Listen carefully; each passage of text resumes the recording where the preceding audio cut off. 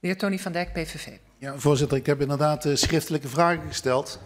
Want uh, we zien namelijk dat van de 6000 bankkantoren zijn er nog 400 over in 20 jaar tijd. Dus deze minister heeft gewoon zitten slapen en het laten gebeuren dat al die bankkantoren, al die bankkantoren zijn gesloten. Waardoor de menselijke maat helemaal weg is. Als je nu naar een bankkantoor wil en je wil ergens 1000 euro ophalen of zo, dat bestaat niet meer, dat kan niet meer. Zelfs het bankkantoor, dat ene bankkantoor dat er nog is in Den Haag, die zegt gaan we naar de pinautomaat. Uw vraag?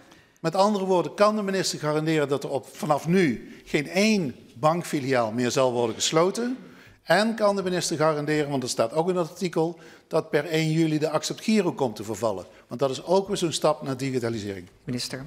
Um, ik, ik, weet niet welk artikel even. De heer Van Dijk die refereerde aan, aan vragen die hij heeft gesteld. Uh, wanneer zijn die ingediend? Zeg ik even via u.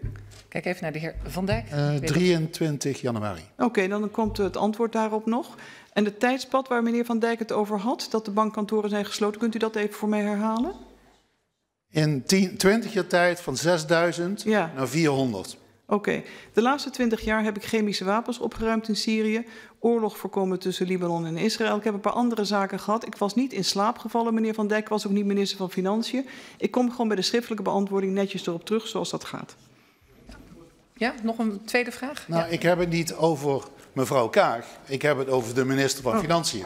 Oh, u zei en, deze. En er waren, er waren er namelijk nog een aantal voor u. Ja sinds 2000 die ah. ook hebben zitten slapen, want die hebben dit ook laten gebeuren. En kunt u nog antwoord geven op mijn vraag over de Accept Giro?